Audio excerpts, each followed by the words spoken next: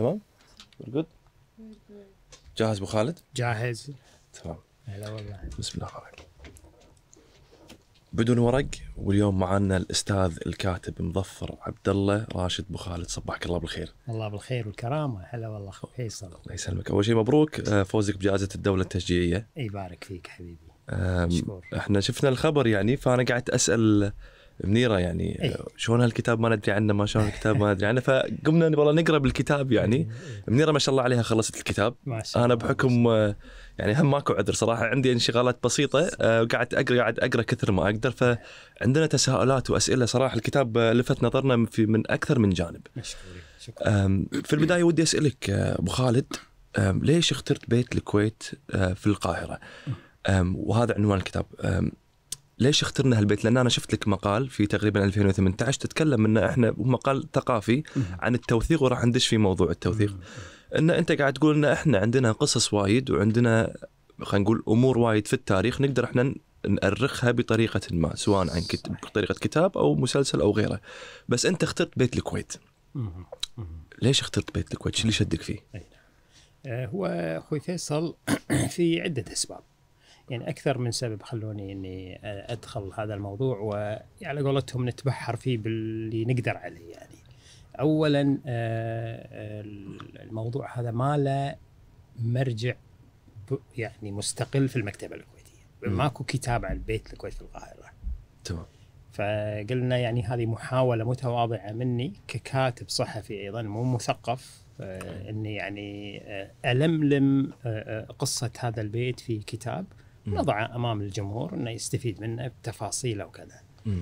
آه، الشغلة الثانية آه، أنا على المستوى الشخصي يعني آه، مولع بالماضي الكويتي عجيب يعني كل ما يتعلق في قصص النجاح ويعني ظروف حياة الكويتيين في السابق هذه تشكل عندي أنا على قولتهم نوع من الذاكرة اللطيفة يعني في مم. انسجام بيني وبينها الثالث إعجابي بشخصية الأستاذ المفكر عبد العزيز حسين أي. كونه رجل دولة وطبعا يعني كان له دور كبير في موضوع التعليم مع مجموعة من الشخصيات طبعا في ذاك الوقت آه، فبعتقد إن هذا الشخص يعني أسس لي كثير من آه، الأمور المتعلقة في التعليم، الأمور المتعلقة في الإدارة الحكومية، إدارة الدولة، مم. إدارة المشهد الثقافي في آه، مواضع مختلفة يمكن راح آه، من خلال الحديث نتطرق لها يعني. أي مع المجموعة اللي كانت آه، معاه اللي أنا ذكرتها طبعا كأسماء في الكتاب وراح نتطرق لها يعني بالحديث.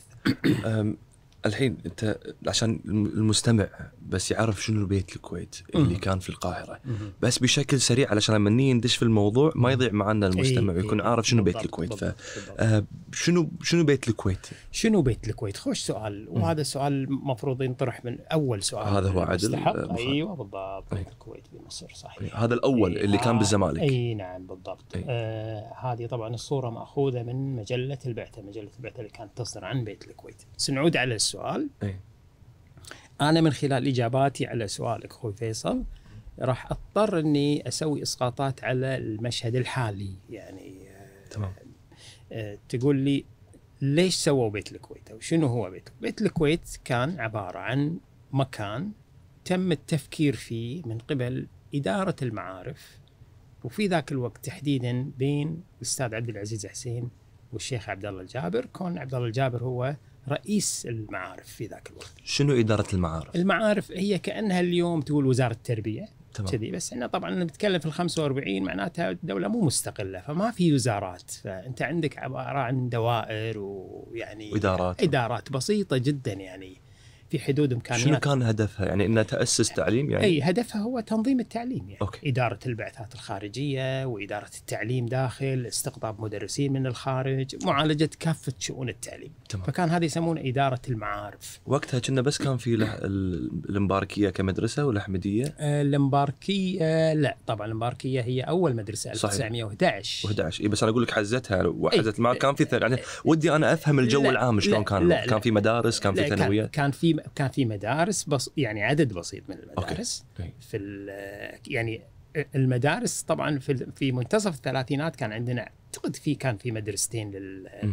للطلبة بال 37 صارت في مدرسة للبنات يسمونها مدرسة داخلية أو شيء من عجيب. هذا القبيل آه هذا البيت اي تم تأسيسه لرعاية شؤون الطلبة المبتعثين إلى جمهورية مصر العربية. طبعا في ذاك الوقت مو وايد كانوا يعني. إي شنو مو وايد؟ الطلبة أنا شفت ال... إي إي إي. أنا شفت الجدول الطلبة. كنا في مو يمكن. عادي إي 14 15 إيه طالب. مع الوقت طبعا مع الوقت زادوا يعني وصلوا إلى يعني من 70 إلى 80 إلى 100 وكذا. إيه. فيعني إحنا طبعا كمجتمع عددنا قليل. لما يروح عدد مثل هذا نعتقد إنه هو وايد يعني. صحيح.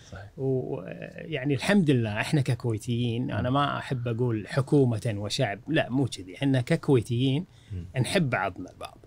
ونحب لما يصير في أي واحد آه، منا ظرف معين سواء كان ظرف سيء أو ظرف ابتعاث أو كذا يعني آه، ندير بالنا على بعضنا البعض. فكان يعني هذا جزء من اهتمام الكويتيين في بعضهم البعض. عجيب. تم اختيار الموقع. شراء. بيت في القاهرة لرعاية شؤون المبتعثين هناك.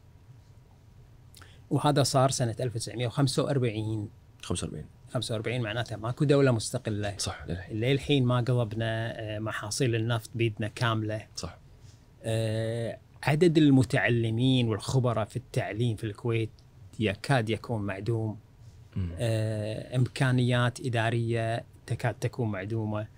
فهي عملية تأسيس نقدر. تقريبا هي تأسيس بالضبط فلما تأسس هذا البيت في القاهرة في ذاك الوقت كان يعني الهدف منه مثل هدف أي يعني آه، section ثقافي في السفارات الكويت اليوم إنه يديرون بالهم على شؤون الطلبة. رواتبهم وكذا ما عندهم مشاكل أمورهم طيبة كان وكذا. ثلاثة جنيه راتبهم بالضبط عاد وقتها ثلاثة جنيه وقتها وايد اي اي اي, إي. اي بعدين صار إيه. 20 و30 بالضبط إيه. فكان هذا هذا هو طبعا هذا هو ال homework مالهم مثل ما نقول يعني أي. هو إدارة شؤون الطلبة والمبتعثين في في القاهرة. أي. طيب خلينا نسوي إسقاط الحين تمام لو, لو في ظل الأوضاع الحالية لو كلفت أي قيادي وقلت له أنت مسؤوليتك تدير بالك على الطلبة في اسكتلندا مثلا أو تدير بالك على الطلبة الدارسين في لندن وكذا. راح يروح ويؤدي الغرض ويأخذ راتبه ويؤدي كما يجب صح. راح يدير باله على الطلبة فقط على ظروفهم العلمية مع جامعاتهم الأمور القانونية مع جامعاتهم وكذا صح. واحد بيحول ما أدري كذا يعني الأمور هذه. اللي صار في بيت الكويت تجاوز هذا بكثير جدا. عجيب. يعني الجماعة آه، الأستاذ عبد العزيز حسين حمد رجيب آه، آه، زكريا. زكريا عبد الله زكريا الأنصاري أحمد مشاري العدواني. ما وقفوا أمام ال- المهمات الإدارية اللي أعطوها أو خذوها من إدارة المعارف. أنت ذكرت الأربع أسامي هذه هم وقفت عندهم في الكتاب. إي. أنت ذكرت إن هذا الأربع أسامي مهمين جدا مهمين. في اي محوريين محوريين هذول ها إي. أوكي تمام لأن عبد العزيز الحين هو رئيس البيت لما راح صح. صح. 45 لما ترك راح لندن يكمل دراسة في ال 55 م. أظن وبعدين استلم بعد آه، في فترات آه، أسامي يعني قعدت يمكن شهور بس مؤقتا. صح. بس بعدها آه، عبد الله زكريا الأنصاري أيضا آه، مسك م. فترة المحاسبة وبعدين ترأس. وعبد العزيز حسين بعدين صار آه، سفير دولة الكويت في في مصر. هذا بالتالي. بالتالي، إيه، بالتالي. آه، فهذول أربعة طبعا محوريين ورئيسيين في إدارة أنشطة بيت الكويت في القاهرة اللي بعدين راح نتكلم شنو سووا بعدين يعني. تمام فكان فتجاوز الموضوع أكثر من مجرد نشاط تماماً، ال- إيه. تماماً، شنو تماماً. مثل شنو تمام. يعني شنو أنا اللي فهمته ما أدري إذا هم كانوا الطلبة ساكنين في البيت ولا إي إي طبعا كان السكن داخل المبنى داخل المبنى نفسه بالضبط. فكان بيت الكويت وهو بيت سكن نفس بيت الوقت سكن اداره وإدارة ال- هذا يعني كان عبد العزيز حسين مكتبة في البيت يعني عرفت. إي ف يعني هذ- هذه كانت ميزة على فكرة يعني. شنو اللي حصل بعدين؟ شنو هذا المكان أخوي فيصل تحول إلى مركز إشعاع ثقافي بمعنى الكلمة وأنا مسؤول عن المصطلح هذا. إشعاع مركز صفر. إشعاع ثقافي للكويت في أهم عاصمة عربية في ذاك الوقت وإن شاء الله لا تزال اللي هي القاهرة. شنو اللي سووا هناك؟ ما اكتفوا في موضوع انه يرعون شؤون الطلبة اليومية أو الأكاديمية أو كذا لا. عبد العزيز حسين والأستاذ أحمد رجيب وأحمد مشاري العدواني هذول أدباء وشعراء ويعني فهذو يعني هذه النوعية من الناس ما تكتفي بالهوم ورك الإداري ماله تطلع خارج الصندوق حمد رجيب كان ماسك الشؤون ولا كان هم كان طالب وقتها؟ حمد كان مبتعث كان مبتعث. يعني كان مبتعث وكان يعني يساهم في إدارة البيت أيضا يعني. وحمد رجيب على فكرة قبل ما يبتعث أصلا كان طالب ومدرس في الكويت. عجيب. في واحدة من مدارس البنين. كان يدرس يدرس ويدرس. ويدرس كان يطلب منه لأنه يعرفون إنه هو عنده يعني. الشخصية والنشاط والقدرة والحماس وكذا يعني. أقيمت في بيت الكويت في القاهرة خلال هذه السنوات من ال 45 إلين طبعا انتهى انتهت المهمة مع الاستقلال بال 62 خلاص يعني ما عاد شيء اسمه بيت الكويت في القاهرة. إيه. أقيمت بشكل أسبوعي ندوات ثقافية يأتيها كبار الأدباء في مصر عجيب. وكبار الشعراء في مصر. آه، أحمد شوقي وغيره وغيره. تقام في بيت الكويت أيضا مسرحيات يمثل فيها طلبة كويتيين بينهم محمد السنعوسي مثلا صح. حمد رجيب يمثل. إيه. آه، أقيمت أيضا آه، أمسيات موسيقية في بيت الكويت. آه، كان الطلبة أيضا يحصلون بين فترة وفترة على رحلات سياحية في يعني مواقع سياحية في مصر الأهرامات وغيره وغيره المناطق المعروفة في مصر. هذا مع الوقت خلى المجتمع المصري يلتفت آه، شو اللي قاعد يصير في المكان هذا؟ ومنو تابع هذا المكان؟ لأن مم. في ال 45 فيصل ما ما ما تعتقد يعني تسمع شيء عن الكويت في مجتمع مصري. صح. أنت حتى ذكرت إن المصريين وقتها ما ما كان جزء منهم ما كان حتى يعرف الكويت يعني. ما يعرف بالضبط مم. ولا يعرف هذا البلد وين بالضبط أو هذا المجتمع وين بالضبط إيه. الخارطة يعني. اي لأن حتى ما كان في يعني التلفزيون القنوات كانت أقل و... بالضبط. اي فلما أنت أتي تقعد في حاضنة مثل القاهرة، القاهرة معناته في صحف، في مسرح، في سينما، في. أدباء، في فن، في كل شيء، كأنك تتكلم اليوم عن يعني هوليوود. اي في ذاك الوقت مم. هي كذي صار يعني كانت القاهرة بهذا الشكل صح. يعني. فأكيد راح تجيك الصحافة المصرية وتغطي وكذا كون في أدباء مصريين يجونك بيت صح القاهرة. صح فأكيد في تغطية فقام ينكتب شو اللي قاعد يصير في بيت الكويت. فبهذه الطريقة وبفضل جهود الشخصيات الأربعة وغيرهم طبعا في يمكن أشخاص يمكن ما ن- آه، ذكرناهم بشكل تفصيلي بالكتاب أي. لكن التيم الإداري كله في بيت الكويت القاهرة كان له الفضل في تعريف المجتمع المصري والمجتمع العربي لأن ترى في فترات لاحقة كان في أدباء غير مصريين يزورون مصر ويوم بيت الكويت. أوكي. من المغرب من صح. قريت المغرب. إيه. فكانوا يزورونه. فهذول الأشخاص اللي أنا ذكرتهم كان لهم الفضل في تعريف المجتمع المصري والدول العربية بالمجتمع الكويتي اللي كان في ذاك الوقت مجتمعا صحراويا فقيرا ما يملك يعني حتى مقومات ال ال ال ال إقامة الدولة ما كانت ما كانت موجودة. على طاري انه يعني مقومات إقامة الدولة ما كانت موجودة أنت ذكرت الأربع أسماء هذول مهدوا لنهضة التعليم إيه. في الكويت. إيه نعم شنو نقصد انه مهدوا لنهضه التعليم؟ يعني هم طبعا نهضة عفوا. اي يعني شوف آه، نادي المعلمين اللي آه، انشا في 1950 إي. هو يعتبر أول نادي لا قانون أساسي في قانون داخلي. اي هذول كانوا من المؤسسين الأساسيين له. هذا. واحد. هذا هذا إحنا لما نتكلم عن نادي المعلمين قاعد نتكلم عن مجتمع مدني NGOs. ساهموا فيه.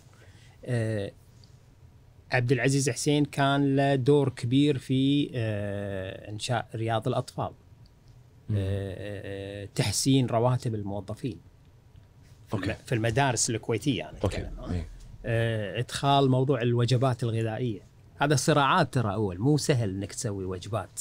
في إنك تطلب ميزانية عشان تسوي وجبات. عدل. اي هو كان وجهة نظره إن إذا أنا سويت وجبات غذائية أي راح يشجع وايد من الأسر إنه يدفعون بأطفالهم ويون على الأقل يحصلون أكل صح عرفت؟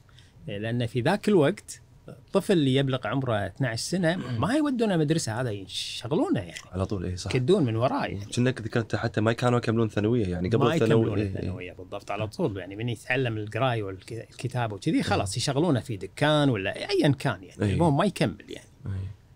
فهذه الوسائل اللي استخدمها الأستاذ عبد العزيز حسين وهو. مفكر ويعني آه، يعني مشهود على مستوى حتى الوطن العربي أي. استخدم هذه الوسائل لجذب الأهالي للفت انتباههم انه يدخلون في موضوع التعليم من خلال إرسال أبنائهم للمدارس. عجيب آه، في خطوة لاحقة بعدين بعد يمكن أتكلم وياها أتكلم فيها بعدين من خلال أسئلتك أي. آه، يعني هذه هذه واحدة من استنتاجاتي أنا اي عشان ما أنساها شنو آه، أقولها الحين يعني ممكن أوكي. إذا- إي. عن شنو هي؟ أوكي يعني شوف أنا أنا اللي اللي استنتجته الآن مم. من الكتاب هذا بأن ال بين 1945 اللي إيه. هو سنة تأسيس بيت الكويت في القاهرة مع الشخوص اللي أنا ذكرتهم أو بعضهم.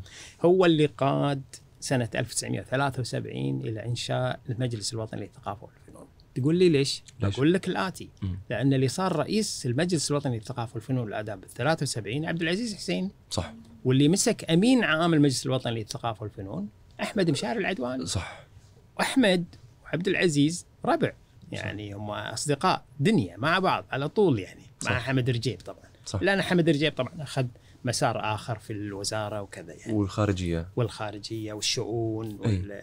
وبعدين طبعا واهتمامه في أمور الثقافة اللي راح نتطرق لها إي أنا الحين أبي أخذ أنت قلت من أسباب نجاح بيت الكويت في ال... في في الكتاب حتى يعني صورناها آه، علشان أخذها حرفيا إيه. يعني نعم. هي قصة نجاح حقيقية لأكثر من سبب أنا بياخذ السبب الأول شدني. صراحة أما إيه. الأول فكان لرغبة صادقة من المتنورين في المجتمع الكويتي رفض التخلف والجمود والعمل على آه، المضي في ركب الحضارة العالمية من خلال بوابة الثقافة والتعليم صحيح أنا بياخذ الفقرة. الأولى لرغبة صادقة من المتنورين في طبعاً. المجتمع الكويتي. طبعاً. يعني شنو قصدنا أنه كان في رغبة صادقة؟ طبعا خلينا نكون صريحين. في ذاك الوقت وقبله كان طبعا يعني ال- المجتمع مجتمع بدائي آه، غير متطور يعني من ناحية علمية أنا أتكلم يعني.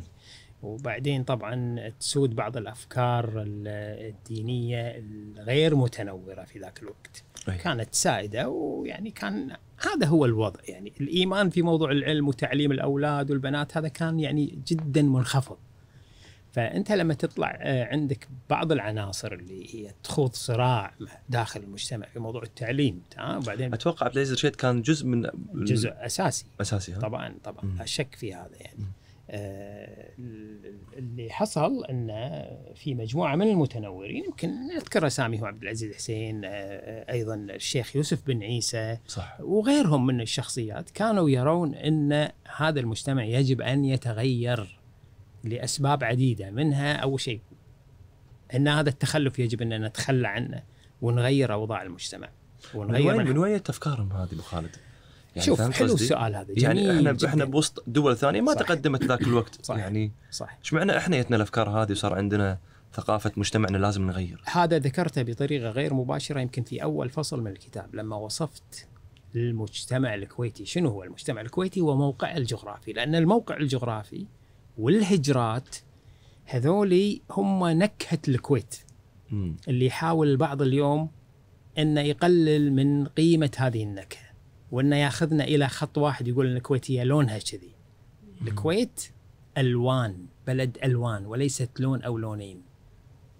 واللي يقول غير هذا هذا لا يفهم طبيعة المجتمع الكويتي ولا يستوعب ما جاء في مواد الدستور اللي لخصت هذه الألوان كلها وحطتها في الدستور. أنت ذكرتها ذكرتها باعلى مكلم طبعاً. كمل. إيه، انت أنت ذكرتها بمقال عشان كذي أنا بدي طبعا إيه. طبعا طبعا أخوي فيصل في الدستور الكويت اليوم. إذا قريته وحطيت أمامك بنود الإعلان العالمي لحقوق الإنسان مم. حطيت الدستور على يمينك والإعلان على يسارك ستجد وأنا سويت فيها يمكن جدول مقارن ما لا يقل عن 21 إلى 22 مادة في دستورنا مأخوذة شبه نصا من الإعلان العالمي لحقوق الإنسان.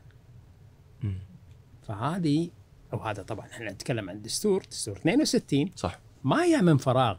ترى بيت الكويت في القاهرة وتجربته والأشخاص اللي اشتغلوا فيه هذول سووا لبنة إلى الاستقلال. اي يعني ساهموا في عملية الاستقلال البلد بال 62 من من من 61 من حيث لا نعلم. ممكن وهذه هذه وظيفة الباحثين والمحللين إنه يشوفون شنو المسار اللي كان قبل الاستقلال. ويدرسون المحطات. هذه محطة رئيسية. إنك أنت تبتعث ناس وتجيب طلبة خريجين جامعيين يفتهمون في تخصصاتهم. صح. فأنت قاعد تقوي الدولة. صح. يعني هذا ومكنوهم أعطوهم مناصب يعني. لا شك طبعا. يعني كانوا هم كفاءة طبعاً، ومكنوا الكفاءة. طبعا طبعا. وزارة الخارجية اثنين من اللي أنا ذكرتهم كانوا يحتلون مناصب عليا وراقية في وزارة الخارجية. مم. وزارة الخارجية لما أتكلم في ذاك الوقت معناته عز الصراع مع عبد الكريم قاسم. صح. عز الصراع على موضوع انه شلون ندخل جامعة الدول العربية صح. وشلون نروح الأمم المتحدة صح. وال block اللي حط علينا الاتحاد السوفيتي والفيتو وكذا. من اللي أدار هذا الصراع؟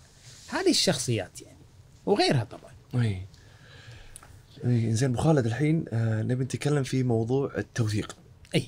يعني أنت الحين وثقت بيت الكويت. شنو فكرة يعني أنت الحين وثقته؟ حلو حلو. شنو فكرة التوثيق يعني؟ حتى أنت عندك آه، حلو. شنو الهدف؟ ولا شنو الهدف؟ إي يعني شنو. يعني أنت حتى عندك مقال هني آه، أبو خالد بيتكلم عنه اللي هو أنا سويت highlight نعم. آه، إذا هو التوثيق المرئي للأحداث آه، عهد الصورة عفوا في عهد الصورة والأفلام والروايات المعده للعرض السينمائي والتلفزيون والذي آه، لو وعت له عقولنا لحفظنا من خلال ذاكرة الأيام في أذهان أجيال متلاحقة آه، تلاشى شغفها للقراءة بشكل خطير. إحنا نبي نقول الحين شنو أهمية التوثيق؟ وشنو فكرة التوثيق؟ آه، من وجهة نظرك أبو خالد يعني ليش نوثق؟ آه، التوثيق هو عقلنا هو ذاكرتنا. يعني إذا أنت ما وثقت كل تاريخك أو على الأقل نقول المحطات الرئيسية والمشرقة فيه الأجيال اللي جاية شلون راح يعني تستوعب هم عايشين وين؟ يعني أخوي فيصل أنا ذاك اليوم كنت أتكلم مع شاب يعني يمكن في الثلاثينات من. عمره يعني من بين السوالف والعرضيه كذي يعني قلت له مثل المشهد اللي أنا قاعد أتكلم مثل المشهد اللي شفته في بس يا بحر كان يقول لي شنو شنو بس يا بحر؟ قلت له وي- فيلم كويتي كان يقول والله ما اعرفه أخوي أبو خالد. فأنا طبعا يعني ما أبي أقول يعني صدمت وما لا بس قاعد أقول غلط يصير كذي يعني عبد العزيز حسين ترى وايد ناس ما يعرفون أه وايد ما يعرفونه وايد إي طبعا أكو أشياء يوم أنا أسأل أمي أقول لها بالضبط. عبد العزيز حسين شنو؟ تقول في أحد ما يعرف عبد العزيز حسين؟ قلت لها هي راح تنصدمين إذا. عرفت إن جيلي جزء. كبير منه ما يعرف عبد العزيز حسين نعم نعم. والله شوف يعني شوف أخوي فيصل أنا يعني خليني من هالمنبر هذا إن شاء الله توصل الرسالة بعد. ترى وزارة الإعلام بالخمسينات والستينات أصدرت كتب لا تقدر بثمن من ناحية قيمتها الأدبية. أي. موجودة يمكن في وزارة الإعلام. كانت كل كتب تطبع عليها مطبعة حكومة الكويت. اي كتب رائعة. وثقت تاريخ الكويت ووثقت يعني من زاوية ثقافية وتاريخية هل وسياسية. التوثيق بذاك الوقت يعني ساعد على نهضة الكويت في الخمسينيات والستينيات والسبعينيات لما. كان في طبعا هو. جزء جزء من تراكم كله جزء من تراكم أوكي. يعني المشهد الثقافي بالخمسينات كان نضج خلاص لأن طلعت طلعت مجلة العربي بس صح. خلاص معناته أكو في أرشيف من النضج اللي خلى حكومة الكويت تؤمن بأن هذه المجلة مهمة حتى تعرف الكويت أيضا وتوري الناس في ذاك الوقت توري الدول العربية المتقدمة واللي هي متطورة وإحنا قبل الاستقلال طلعنا مجلة العربي انتشرت في جميع الدول العربية بلا منازع يعني كانت هي مجلة وها مجلة العربي من المجلات المميزة من زاوية أنها مجلة غير مؤدلجة يعني ما تروج حق النظام السياسي اللي تطلع منه أي. ما كانت كذي. هي تتكلم عن العرب بتلاقي فيها تحقيقات مثلا في قرى مغربية ولا مدينة مصرية ولا كذا ويقعد يلتقون مع عموم الناس يعني. إي. فأنت تقرأ عن ثقافة وعن أدب وكذا ما تقرأ عن النظام السياسي في الكويت صح. ولا مو كذي يعني. صح. فهذه ميزة. بينما في ذاك الوقت في عز هذا الفورة القومية معظم المطبوعات تطلع تمجد بالأنظمة السياسية في ذاك الوقت. صح. على طاري المجلة مجلة العربي في مجلة البعثه اللي طلعت من بيت الكويت. إيه هذه جايينها. إي. طبعا. شنو شنو فكرة هذه قصة نجاح أخرى. إي. أنت الآن سويت البيت في 1945 هذه. بالضبط. إي نعم بالضبط. فأتكلم عنها هذه. بيت الكويت لما أنشئ في ال 45 بعدها بسنة على طول 46 إي. قرر عبد العزيز حسين ورفاقه اللي إحنا رفاقه اللي إحنا ذكرنا أساميهم إيه. لازم نسوي مجلة.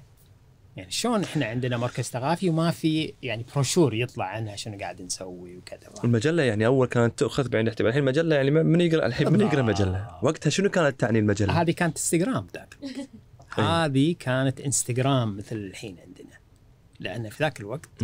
المجلة يعني واجهت ينطرونها. مكان إي. هذه المجلة إي.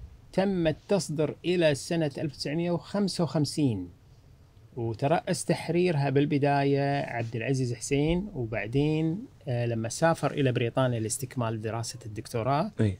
وترك بيت الكويت آه، أخذها أخذت آه، رئاسة تحرير عبد الله زكريا الأنصاري. صح.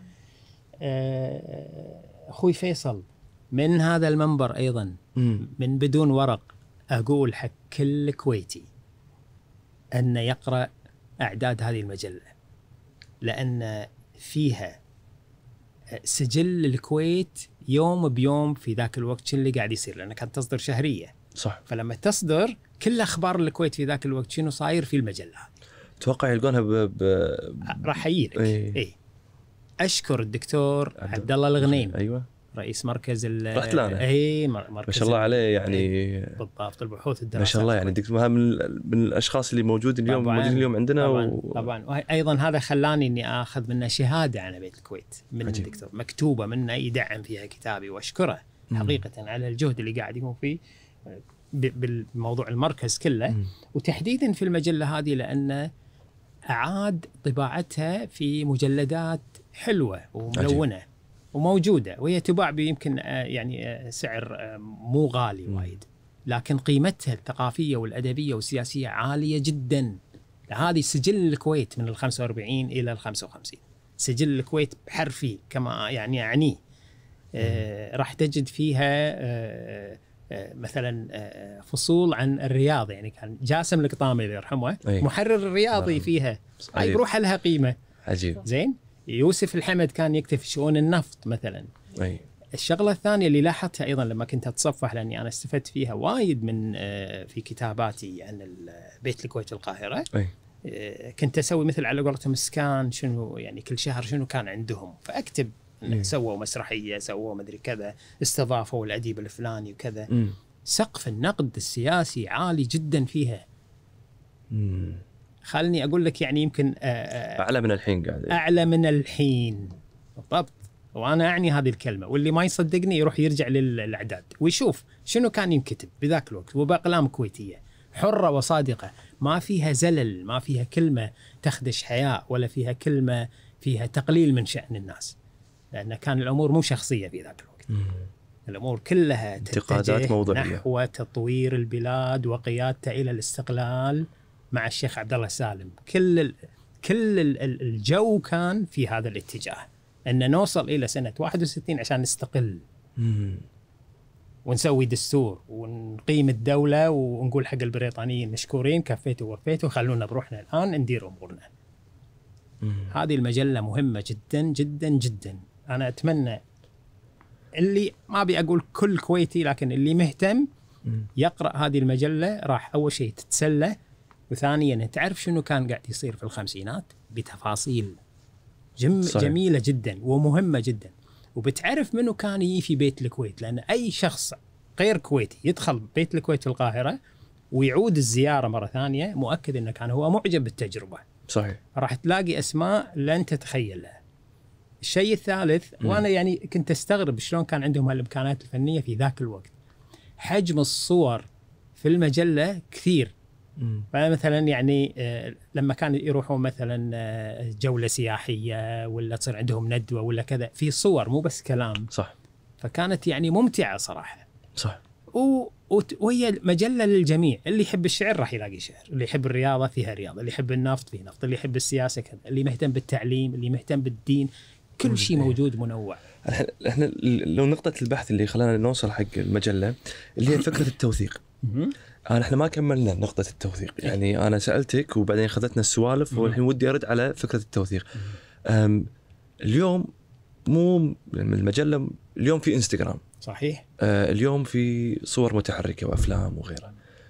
آه اليوم شنو المحتاج إحنا نسويه ك خلينا نقول مسؤولية من أصحاب آه خلينا نقول الشركة أنت حتى ذكرت آه شركات الإنتاج الخاصة وغيره صحيح. من توثيق يعني. آه ودي أفهم منك شنو ش- ش- مرة ثانية شنو فكرة التوثيق وشلون الحين لازم للفترة القادمة على الأقل. نفكر في التوثيق؟ لازم. وليش نقول قصصنا يعني؟ بالضبط بالضبط بالضبط. آه، التوثيق مهم لأن المادة المكتوبة جزء كبير منها كتب في الخمسينات الستينات. إي. آه، عن طريق دوائر متعددة تابعة لحكومة الكويت في ذاك الوقت. فهذه ممكن الواحد إنه يعني ينبشها ويطلعها ويعيد قراءتها ويضيف عليها. بما يتطلب الأمر يعني. الشيء الثاني ليش أنا أوثق؟ أنا يعني مهم عندي في العصر هذا إني أحول كل هالمواد المكتوبة إلى شيء مرئي يعني عرفت؟ مم. الناس الآن آه، يعني عين أكثر من قراءة. مم. فتخيل مثلا هذا الموضوع لو يعني ينوخذ في فيلم وثائقي صح آه، وتتكلم عنه بالتفصيل وكذا وتحطه في تلفزيون الكويت أو تبيعه لمحطات وكذا والله يا فيصل مو عشاني أنا كتبت الكتاب يعني ترى يمكن يجي غيري يكتب نفس الموضوع كتاب أحسن مني بألف مرة. بس هذه القصة مهمة جدا خصوصا في وضعنا الحين. وضعنا اللي كله تراجع وتشاؤم وكذا وكذا. لازم تطلع مثل هذه القصص وتقطها في الوضع الحالي بين الناس. خل تقرأ تقول أوه هذول سووا كذي؟ اي سووا كذي. ماكو نفط اي ماكو نفط. ماكو متعلمين اي ماكو. خمسة أنفار سبع أنفار. سووا هذا الشيء كله. الحين الحين انت في الوضع الحالي وزارة التربية ميزانيتها مليارين ونص. وبعدين نطلع نسبة 50 أو 51% من اللي يتخرجون من الثانوية وكذا ما يعرفون يكتبون يقرون. 51% شلون؟ فقر تعليم. شلون؟ شلون؟ أقعد أنتقد وأقعد أستجوب وأقعد ها لا أنا عندي كل هذا جربناه استجوبنا وسوينا كل شيء. ما نتج عنه. لازم توعي إن أنا شوف موضوع التوعية عندي مهم جدا لأنه هو على قولتهم ال- ال- التغيير الناعم. إن الشاب هذا اللي ما اللي سألتك عنه مساء قلت لك إنه ما يعرف بس يا بحر ما أغضب عليه. لا لا أقول له تعال يبا أنا نقعد وياك الحين في مكان هذا استكانه شاي نشوف أوريك الفيلم يعني.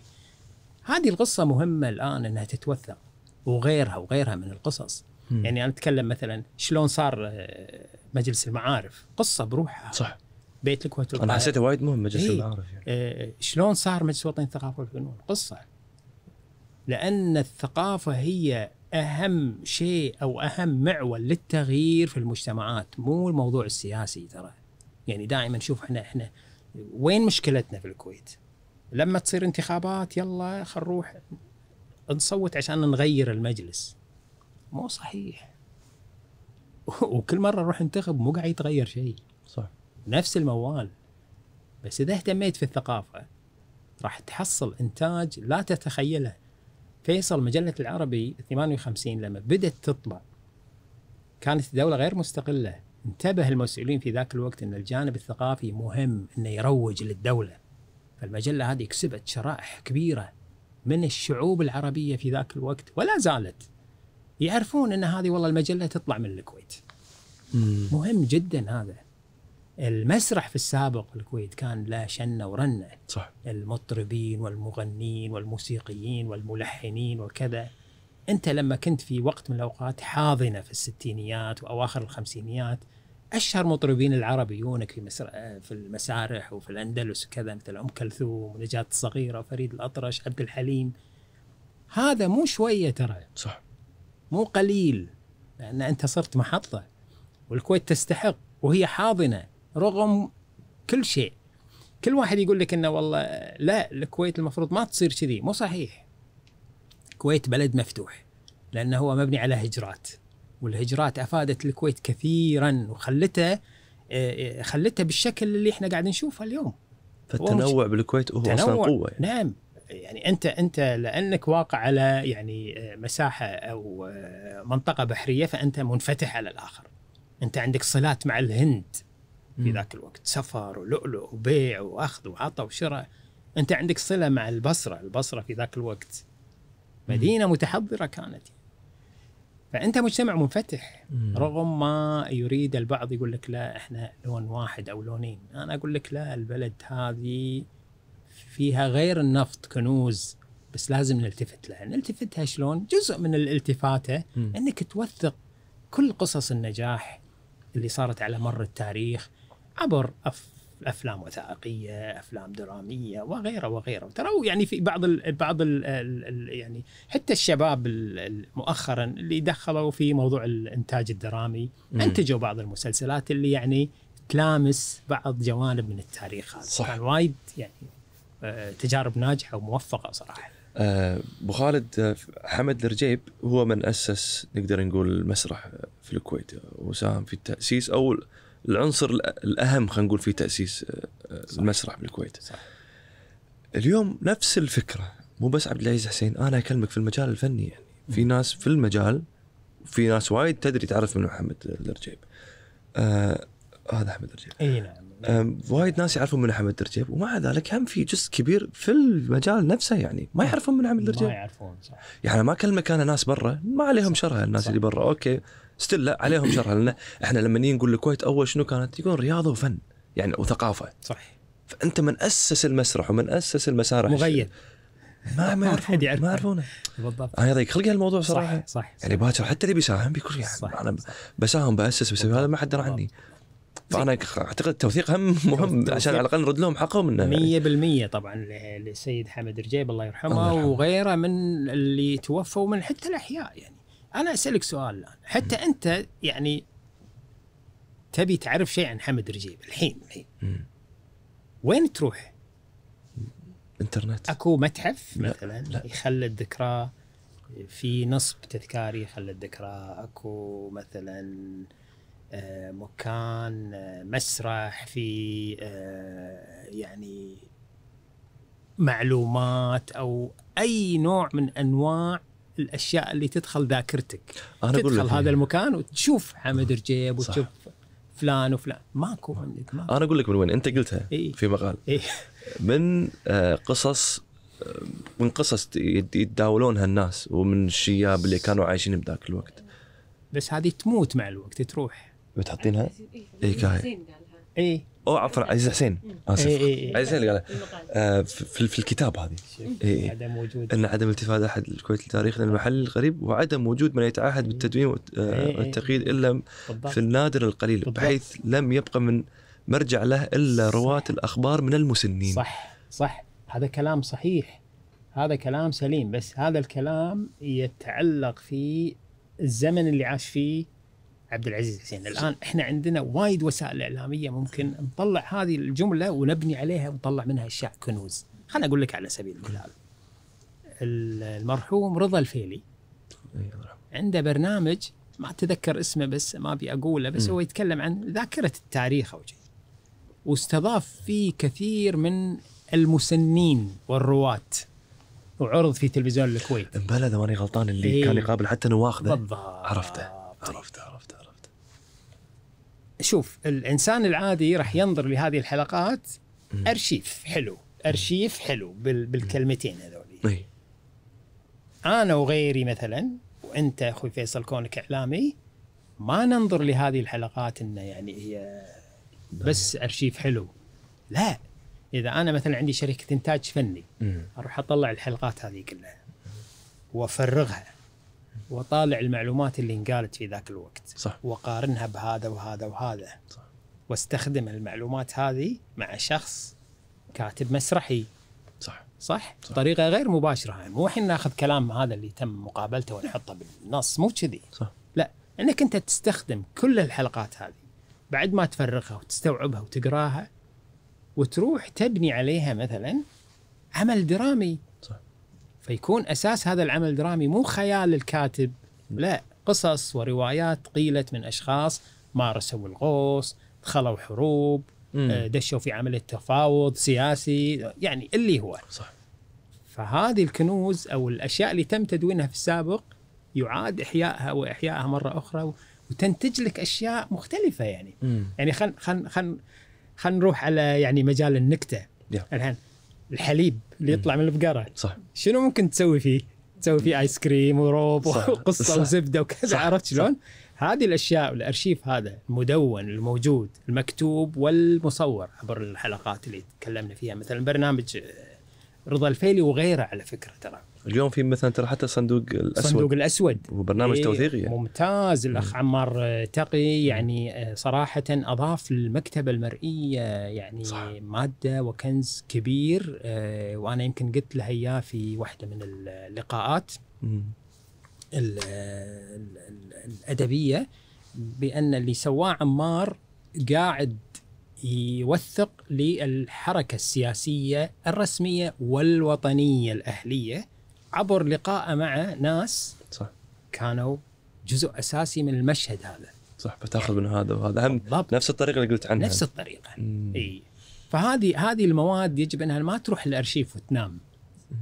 يجب على الشباب اللي يعملون في الإعلام ويعملون في الإنتاج الفني إنه يرجعون إلى هذه الأشياء. حتى ترى في التمثيليات أنت لما تسوي تمثيلية ولا. يعني حلقات أو مسلسل أو كذا يتكلم عن يعني مو شرط عن التاريخ الكويتي أو السياسي الكويتي أو الثقافي الكويتي حتى لو كان عمل عاطفي رومانسي راح تضطر أحيانا إنك ترجع إلى إذا كان عندك نوع من الفطنة والذكاء ترجع إلى بعض المصادر هذه حتى. تاخذ كلمة معينة لفظ. معين عرفت شلون؟ فهذه كنوز موجودة تحتاج إن الواحد يقلبها بين وقت ووقت. أنت شلون فرقت المواد وكتبت؟ يعني عشان المادة اللي أنت اللي قاعد إيه. الكتاب نفسه اقصد أنا. شلون؟ شوف مصادر هذا الكتاب مم. أول شيء خذ مني ست شهور. حلو. كتابة. آه إي كتابه وبحث وكذا. أوكي. المصادر مالته الأساس هو مجلة البعثة. مجلة البعثة. إيه أنت انطلقت من مجلة البعثة. طبعا مهمة جدا. ترى هي ثمان مجلدات. مم. ومثل ما قلت هي الآن آه، تباع في آه، مركز الدراسات اللي آه، يرأسه الدكتور عبد الله الغني. آه، أخذت بعض ال- الكتب اللي أصدرتها وزارة التربية ووزارة التخطيط كانت تتعلم تتكلم عن التعليم وكذي فكانوا يبون معلومات بسيطة عن بيت. الكويت القاهره يعني صفحة. صفحتين كذا. يعني. أي. آه، اضطريت أنا في النهاية إني أيضا أروح حق بعض الأشخاص اللي احتكوا في بيت الكويت في أواخر سنواته خذيت منهم شهادات مثل منو؟ فاطمة حسين الاستاذه فاطمة صح، حسين في آخر كتاب. إيه، سليم الدكتور سليمان الشطي العديلي حتى فاطمة حسين كتبت إنه يعني ما كان ما كانوا ما كانوا يعني خلينا نقول يخالط يعني ما كان ما كان محرج كان. كان محرج إيه. يعني تو الموضوع ترى يعني سفر المرأة في ذاك الوقت كذا. وبروحها يعني شوية كان صعب. إي فكانوا ويا بعض وما كانوا يطلعون إلا بإذن و... بس عفي عليهم شوفوا يعني شنو سووا ما لما رجعوا. الكويت. أنا قاعد أقول حق شلون يعني؟ طبعا. اليوم اليوم طبعاً، طبعاً. اليوم في مشكلة إن البنت تسافر. طبعا. يعني- فتخيل. فتخيل بذاك الوقت يعني. يعني حتى اللي تبرعت حق. آه بأرض مدرسة المباركيه بنت الخالد صحيح صحيح صحيح, صحيح. فأنا قاعد نشوف المعلومات هذه يعني ودي أنا اتطرق لحتى دور النساء طبعا في طبعاً، التعليم ده طبعاً، من ذاك الوقت من يعني. ذاك الوقت من ذاك الوقت يعني فهمت قصدي أنا؟ عشان عش... لما أقول لك إن المجتمع الكويتي مختلف إيه. هذه النماذج لما تتكلمني عن آه، تبرع السيدة اللي ذكرتها في. مدرسة الفاركيه كان ترى بوقت مبكر جدا إيه مدرسة المباركيه أرض مدرسة المباركيه قديمة، آه، عفواً، مدرسة- 1911 إيه، يعني، ها؟ وفي امرأة تبرعت. في دكان هذا أن المجتمع الكويتي فيه عدة ألوان وليس لون ولونين إيه. لازم هذه الأمور تندق بين وقت ووقت حق أي واحد يرفع صوته يقول لا ابو لون ولونين عبالهم. أول كان مجتمع آه، ذكوري. لا لا لا لا. إحنا طبعا ما نبي نقول إن المجتمع الكويتي ليبرالي في ذاك الوقت. لا بس هو كان بس ما كان أقصد التاسيس غير متعصب. غير متعصب. الطبيعة مالت الناس غير متعصبة. ما بقول لك الحين كانوا ليبراليين. لا, مو كذي. لا مو كذي. كان في عندهم عادات وتقاليد ومحافظة وكل شيء لكن بسرعة يمتصون شيء حلو جاي من برا. يعتقدون إنه يفيدهم. عجيب. يعني لأن إحنا شوف أخوي فيصل لأن إحنا مجتمع تجاري قائم على السفر والغوص واللؤلؤ وكذا. صح. يضطر التاجر إنه يعلم ويتأقلم. عياله مم. حساب على الأقل عشان يمسك الدفاتر صح هي مسألة مصلحية صحيح مم. بس طبعا الجو الاقتصادي فرض على المجتمع الكويتي وعلى الناس اللي يديرون الاقتصاد في ذاك الوقت إنهم يدخلون أبنائهم إلى التعليم وكذا على أساس إنه يديرون حلالهم بعدين مم. في النهاية فهي هي مسألة متشابكة عرفت شلون؟ على طاري التعليم أنت وايد ذكرت في الكتاب تعليم في تقريبا إيه، كل جزء إيه، كان إيه، يعني طبعاً. يتطرق للتعليم طبعا طبعا طبعا, طبعا. فالتعليم هو كان أساسي هو هو اللي سوى كل هذا أتوقع يعني, طبعاً، يعني هو طبعاً. هم راحوا لأنه بيتعلمون طبعا وردوا الكويت وأسسوها صح. على التعليم صح والثقافه مبنية على بالضبط. التعليم بالضبط فأنا كأنك قاعد تقول نهضة الكويت قامت على على, على التعليم, التعليم على التعليم واللي يقول غير هذا طبعا أنا يعني أتحفظ على ما يقول صراحة يعني التعليم أساسي هو اللي خلى الكويت سمعة جميلة جدا في حقبة الخمسينات والستينات إلى السب... إلى السبعينات يعني. مم. بس الآن شوف الآن وين وصلنا؟ أنا قلت لك على الرقم اللي يرصد لميزانيه وزارة التربية اللي هو مليارين ونص صح. دينار تروح على التعليم الآن بس المنتج مالها مو مضبوط كلش يعني حتى اللي يتخرجون ما أدري إذا وصلتك المعلومة هذه يتخرجون أي. يعني هو المعدل الدراسة 12 سنة يتخرجون بمعدل 7.2 صحيح. يعني اللي يتخرج من جامعة الكويت عفوا من المدرسة ولا الثانويه يتخرج حتى لو كانت نسبته 90% صح. لكن هو بالأصل متخرج حالة حال بالضبط. طالب ثانية متوسط شفت شلون؟ شفت هذا الأمر خطير خطير جدا طبعا طبعا واضح انه قاعد في ناس قاعد تنتبه له الحين وقاعد تحاول تدارك الموضوع. أنا قاعد أشوف في الخطاب العام في الفترة الأخيرة على الأقل آخر سنة مع يمكن كورونا سرعت الموضوع نعم، التعليم نعم، والناس. نعم. التفت التفتت أنظارها للتعليم. ان تعالوا يا جماعة. خلينا نجاب للتعليم. وايد ناس الحين قاعد أشوف أنا ما أدري من طرفي بس ما أدري إذا هذا قاعد كلنا قاعد نشوفه يعني. نعم. بس في يعني وايد ناس قاعد تتكلم عن التعليم. بالضبط. وترى جزء من الأشياء اللي مو زينة فيه إن الناس اللي عندها قدرة وحتى ترى اللي ما عندها قدرة مادية قاعد تلزم على روحها وتضغط على روحها صح. قاعدين يودون عيالهم مدارس خاصة يعني. ترى هذا مؤشر مو زين. الأسعار مبالغ فيها الحين بعد. إي وقاعد يدفعون إي. لأن يدرون إن تشوف ال- ال- الأبو اللي الأبو والأم اللي يعني يشوفون مصلحة أبنائهم في موضوع التعليم آه، يقطون ما وراهم ودونهم لأن يعتبرون هذا استثمار. لأن ال ال ال الناحية الثانية أو الضفة الثانية من التعليم ما هي مضبوطة. كلش مو مضبوطة أنا أتكلم عن التعليم الحكومي يعني. فلذلك هذا موضوع مهم جدا. إحنا وصلنا عند فاطمة حسين بعدين أنا جبتك إي، هني. نبي نرد أنت قعدت وقابلت ناس في آخر إي. اللي لا زالوا أحياء إي، إي. والله يطول باعمارهم أم، اللي حاولت تاخذ منهم كثر ما تقدر بالضبط. أه، منو غير الدكتور عبد الله غنيم وهو كان موثق يعني وعنده المركز ورئيس المركز اي بالضبط طبعا. أنا أنا لما رحت لهم آه، كتبت سؤالين فقط يعني رأيك في في آه، تجربة بيت الكويت في القاهرة. ورأيك في الدور الإعلامي اللي سوته مجلة البعثة في الترويج للكويت؟ فالكل كتب بهالحد اللي أنا طلبته يعني. مم. فالاخت فاطمه حسين ومثل ما ذكرت لك دكتور عبد الله الغنيم وسليمان الشطي. يمكن الجزء اللي يخص الأستاذة كوثر الجوعان آه يعني قا- قالت لي قصة حلوة وذكرتها أنا إن والدها الله يرحمه آه كان من المفروض لما صار افتتاح بيت الكويت في القاهرة. أيام آه، لما جاء عبد الناصر الزعيم عبد الناصر افتتح بيت الكويت ترى هاي بعد نقطة مهمة. هذا البيت الثاني. الثاني. اللي في إيه في اللي في الثاني وين لأن دق- الانتقال في الثاني. الدقي أيوه. في ال 54 هذا بالضبط. كان من المفترض إن والد السيدة والمحامية كوثر الجوعان يحضر الاحتفال ويلقي قصيدة. مم. بس لما جاء الموعد آه، تعرض لوعكة صحية شديدة ما خلته يجي الاحتفال هذا. إيه. هذا بالضبط هذا هذا عبد الناصر عبد الله الجابر عبد العزيز حسين يعني الشخصيات عبد أمي تقول لي عبد العزيز حسين ولا مرة شفته لا- لابس قطرة وعقال كله بدل هو ما يلبس إيه. في أيام مجلس المعارف كان نفس ال- الزي هذا مع قطرة وعقال مع البدلة يعني إيه. في له صور في له صور ها إيه. okay okay كان دارج هذا يعني اللبس. بس أنا عشان ما أطلع عن إي إي هذا- خلي- إي ف... فما ألقيت القصيدة. فقالت. لي أم يوسف كوثر الجوعان أنا بعطيك القصيدة هذه. أوه. فأعطتني إياها ونشرتها اللي موجودة في اي اللي في. في آخر بالضبط. في آخر فصل بيت الكويت. صحيح صحيح صحيح. إي إي إي عدل عدل عدل. فكانت هي محاولة لتطعيم الكتاب بشهادات ناس أحياء عن التجربة. مم. يعني أساس نعطيه شوية أنا خليني أقول لك سالفة عيد بخاطر رحت حق. دكتور عبد الله الغنيم. إيه. هذا الحكي يمكن قبل أكثر من سنة قبل الكورونا؟ نعم. صديقي عبد العزيز الغيشم قال لي أنا عندي دخلة على الدكتور عبد الله الغنيم. حلو. خلينا نروح نقعد معاه نشوف شو اللي عنده. زين. يلا يلا لبست أنا قطره وعقال ولبست قطره وعقال رحنا ناطرنا ما شاء الله عليه موعدنا معه 9 الصبح وهو إيه. 9 الصبح. إيه.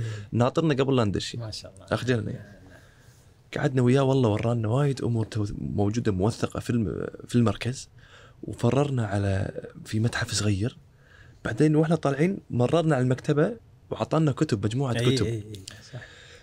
يعني النموذج هذا وايد يعني أنا اليوم كل ما أحد يجيب طاري دكتور عبد الغنيم يعني بس أمدحه ما شاء الله لأن يستحق. معاملته راقية جدا. وإحنا يعني صغار بالنهايه هو. يعني هو أستاذ فاحرجنا حتى بثقافته في التعامل أحرجنا في ثقافته شلون هو يشرح لنا المعلومة طبعاً. صح يعني هذه يعني الثقافة حتى ثقافة سلوكه صحيح يعني فأنا أقصد هالنماذج هذه يعني ودنا نشوف أكثر منها صحيح. لذلك أنا أي شيء يساهم في إن إحنا يكون عندنا نماذج أكثر صحيح مثقفة فعلا مو بس ندفع مث... مو... فيها. ندفع. فيها. ونمكنها وأنا اللي, اللي التمسته من الكتاب إن المجموعة هذه المثقفة مكنت بعد ما انتهوا من تجربتهم في في القاهره إدارة الدولة في إدارة الدولة صحيح فهو أنت مو بس تثقف أنت تثقف ومن ثم ومن ثم ت- تمكن صحيح. وتوظف صحيح. وتحطهم في المكان الصحيح حتى حمد الرجيب لما قالوا له أنا اللي فهمته انه يبون يحطونه في عدة مناصب وهو رفضها صحيح. لأنه ما يشوف نفسه فيها بالضبط نعم فهم كانت في ثقافة انه ينحط الشخص في المركز مناسب بالمكان مناسب بالمركز، مناسب. بالمكان. صحيح صحيح أحيانا اللي فهمته منك بعد آه، أبو خالد إن أنت راح تكتب إن شاء الله كتاب عن الشيخ عبد الله السالم اي ولما شفتك تو قلت سألتك كانت تقول أنا مشغول في كتاب ثاني الحين وتكلمت عنه في حماس. إي نعم شدني هالحماس. صراحة. ليش الشيخ عبد الله السالم كان في كتب الحين مثلا عن الشيخ عبد الله إي. يعني صح هو هذا أيضا قيل لي. يعني أنا طبعا ما راح أعلن عن اسم الكتاب للحين ما حطيته في العادة أكتب. عاد ما أدري أنا فاجأتك ما أدري عادي نتكلم عنه. لا لا عادي إي، عادي, عادي. عادي. يعني ما راح نتكلم بتفاصيل يعني. قبلها نبي نعرف قصة السطح؟ السطح؟ اي سطح ما وصلنا حق جميلة هذه. زين في شيء إذا في شيء ثاني نسيناه okay بعد. okay okay. السطح. الحين يلا، خلنا okay. okay خلينا ندش على السطح. يلا. زين بعدين ندش على الكتاب اللي نكتبه. فأنت ذكرت لنا أنت قعدت ست شهور. صح. وفي سطح بالموضوع. أهم شيء خبايا يعني شوف أنا تجربتي في إصدار الكتب قليلة جدا. يمكن هذا بيت الكويت في القاهرة الثاني لأن عندي كتاب سابق اسمه آه، حقوق الإنسان في التشريعات الكويتية. بصفتي أنا يعني من المهتمين في موضوع حقوق الإنسان ومن تلاميذ الدكتور غانم النجار وأتشرف في هذا ونعم يعني. ونعم دكتورنا. هذا الكتاب الثاني الثالث اللي جاي بالطريق. بس خلينا نتكلم عن موضوع تجربة الكتابة. مم. يمكن طبعا لو آه، يعني اللي يستحقون أكثر مني بالكلام في هذا الموضوع اللي يكتبون وايد يعني واللي ينتجون كتب وايد مثل. الأدباء والشعراء وغيرهم من المثقفين في الكويت وغيرها يعني. بس أنا بذكر لكم أنا تجربتي في موضوع الكتابة. أنت لما تيجي تكتب ما يعني ما تاخذ في الاعتبار وايد أشياء. ما تي على بالك إن لما خلاص الحين أنا ببلش كتابة بعد ما قريت وكذا. ما تاخذ في الاعتبار إنه هل بيتك أنت ملائم لأنك قاعد تكتب؟ آه، هل أنت تضمن إنه ما يدق عليك واحد الجرس يقول لك وصل الغاز؟ اي ها؟ يتصل تتصل فيك مثلا بنتك تقول لك بابا إحنا بنروح المكان الفلاني تي ويانا وأنت بعز الانشغال يعني ها؟ المكان اللي أنت فيه عازل للصوت كل هالأمور هذه ما تي على بالك تماما فأنت بس يعني ألف كتاب يلا ألف كتاب مو كذي الموضوع يطلع راح يتعبك. راح يخليك في وقت من الأوقات تقعد بين ناس ما تستمع لهم وأنت بعيد عنهم وراح تنتقد إيش دعوة أنت شايف روحك مدري كذي اي تجيك أشياء يعني تلشط فيك وأنت ما تدري. أه تجيك أحيانا فترات أنت معصب وانت قاعد بروحك. لأن أمس كان المفروض تكتب ما كتبت فقاعد ومعصب على روحك ما حد يمك ها مم. لما تخلص فصل تكتبه وتراجع وكذي وتوري واحد يقول لك اي والله زين بس حط لك الشغلة هاي الفلانية ضيف وما أدري شنو وتكمله تستانس حلو هذا الكتاب شلون صار؟ شلون؟ خذ مثل ما قلت لك أنا ست شهور. قعدت أدور على مكان مناسب في البيت يعني ما حد يوصلني على الأقل يعني أو الطشار يوصلني 20% ما لقيت مكان إلا فوق السطح كان عندي مكان آه، فوق السطح مثل صالة يعني ما ما حد يروح لها شبه هي ديوانيه حق ولدي خالد يعني حلو وانتركت فترة مم. وما حد يروح فوق يعني عرفت شلون؟ من يروح فوق؟ إحنا الدور الأرضي الأول وخلاص يعني. مم. فقلت إن هذا المكان حلو خاصة إنه كبير يعني ثمانية بثمانية حلو. وما حد يجي. ومسكر وعندك باب على السطح فوق لا بغيت تتنفس ولا شيء. قلت هذا والله خوش مكان. عجيب. وأروح أجيب لي طاولة صغيرة وكرسي وكذا وأحط شغلي وكتبي حوالي لما صار الحين خلاص. شلون وصيت. حطيت كتبك حواليك؟ يعني كانوا كتب المراجع. اي أقصد إنه يعني كان كلها يعني حوالي. اي أنت وكل- قلت لي أنا أذكر قلت, قلت لي في إنه إي. صار الوضع شوية اي بالضبط صار الوضع كله ملخبط. بس إيه. ملخبط بالنسبة لي أنا بالنسبة لي أنا كان يعني لوحة فنية. عجيب. وقلت حق الأهل في البيت لا حد يدخل المكان ينظف. اي لأن كل صفحة مفتوحة على شيء أنا ابي وأرجع له مع الوقت. وهذا الكتاب ترى تشوفونه مكتر أنا مسويه كذي. وهذا مفتوح على صفحة الفلان لا حد يدخل المهم. لأن إذا يا واحد على أبونا بيسوي لي خدمة بيخدمك يعفسني. إي على أبوي يرتب الكتب. لا لا. هذه صارت أيام الدراسة اذكرها أنا خلوا إيه. فأنا قاعد بين تقريبا ولا يمكن 60 70 مرجع مقططين حوالي عجيب. بشكل دائري. ها؟ وقلاصات شاي مال تمس وكذي. يعني قصة. بس كان الجو يعجبني لأن ناطر لحظة الولادة. أنا لما يطلع الكتاب وينتج يعني فهذه كانت يعني ال- المخاض هذا مال الكتابة متعب جدا يعني إيه. بعدها صراحة لما طلع الكتاب أنا ارتحت فريحت الحين أنا قاعد أعيش نفس الجو بس مع تمرين بسيط إني. تعودت على الجو الأول فقادر شوية أتحكم باعصابي ما أعصب وأنا قاعد بروحي أريح. أطلع يعني إذا حسيت بضغط وكذا وما قدرت أكتب في ذاك اليوم أسوي شيء يونس لما أرجع مرة ثانية على المود يعني إيه. بس الكتابة مو مس- مسألة سهلة. لا. جدا جدا مو سهلة. مم. أنا إيميل إذا مهم أطول فيه شوي. صعبة جدا لأن الكتاب معناته لازم تدقق المعلومة. صح. وإذا أنت فيصل حريص على اسمك. راح تخاف. والخوف زين على فكرة يعني. الخوف زين. مم. بعدين هذا الكتاب لازم تحط في بالك إنه راح يطبع ويروح حق الناس في السوق. صح. وتقراه. فلازم الواحد بين قوسين يحترم عقل القارئ. ويدقق في المعلومات مرة ومرتين وثلاث وعسى يسلم. لأن دائما أنت لما تتكلم في. التاريخ صح. في روايات. صح. ما قاعد تتكلم عن فيزياء ويعني محلول وكذا تحط هذا على هذا يطلع كذي. مو كذي المسألة. في الجوانب السياسية والجوانب الثقافية في روايات وفي أقاويل وفي تواريخ وفي كذا وفي تحليلات. آه، هو كذي مو كذي. فالقصة هذه تحتاج إلى تدقيق من الباحث والكاتب انه على الأقل يطلع كتابة بأقل إصابات ممكنة الحين أبو خالد على على هالطاري أنت الحين تذكرت شغلة أنا ودي أسألك عنها عاد نشوف. شنو رأيك فيها تذكرت الحين مثلا المقالات اللي تنكتب اليوم رأيي في موضوع معين مقال إيه. أسهل حتى مو كتاب يعني. إيه. فينكتب المقال ويد- صح. وممكن ندقق عليه أقل يعني. لأنه مقال بالنهاية ورأي بعض المرات ناس تستب يعني تمسك على ناس ثانيين انت قلت في إيه، 2012 إيه، إيه. هذا ممكن هو تراجع عن هالرأي ولا شيء كذي. فأنت. شنو فلسفتك بالفكرة هذه؟ يعني أنت آه، كونك تكتب مقالات إيه يعني. صح صح. ترى هذه قاعد يتم ممارستها على طريقة التنمر ضد التغريدات الآن. لما تشوف لما user واحد صح طالع إيش كتب أول تغريدته ما شنو إيش حقه؟ ما كاتب هالطريقة. ليش كتبت هالجملة؟ ليش ما سويت كذي؟ نفس الشيء على موضوع المقال فالواحد يقول ما أتكلم وأسلم من ال... ولا شلون يعني؟ لا لا لا لا لا أنا مو ضد هذا. مم. تمشي تحت الطوفه هاي ما يمشي عندي. اكت... أي شيء تشعر فيه اكتبه. أي شيء تشعر فيه اليوم مم. اكتبه. راح يطلع بعد أسبوع غلط بعد سنة سنتين غلط. مو مهم. المهم انك تحترم مشاعرك في ذاك الوقت وتقول إن هذا الكلام طلع لأني أنا كنت تحت الظرف الفلاني مو إني أنا هالنمونه ولا بهالشكل ولا كذا لازم نحترم بعضنا البعض في موضوع الكتابة ونقدر مشاعر بعضنا البعض في في الكتابة. في كثير من الشعراء كتبوا قصائد يقرونها الناس الحين هذا إيش قايل بس ما يدرون شنو الظروف صح اللي ينكتب. أنا ضد موضوع إنك أنت تحط الشخص وتقعد تحاكمه. أنا ابي هذا أشوف الشخص وإنتاجه كما هو وأقرأ ظروفه وأقرأ آه، أسلوبه وأقرأ الحياة اللي هو عاشها وأقيمه على هذه الناحية مو إني أحاكمه. يعني أنا لما أعرف إنه والله نزار قباني كتب قصيدة عن المرأة فيها هالألفاظ ودي أعرف ليش كتبها وعن منو؟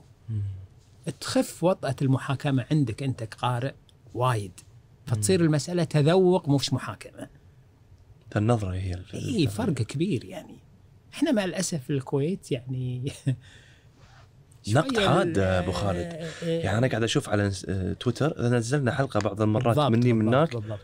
نشوف الانتقادات اللي تصير بعض المرات. حادة جدا. تكون حادة يعني. ترى الموضوع مو إيه. بهالشكل يا جماعة. لأن. لأن مجتمعنا فقد قيم الحوار الصحية. كان كانت هالقيم كانت موجودة. أقرأ مجلة البعثة قلت لك. ارجع لها.